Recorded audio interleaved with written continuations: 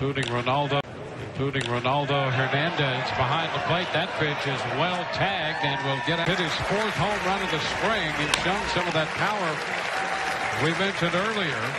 And a solo blast with two men gone in the fourth or in the sixth inning.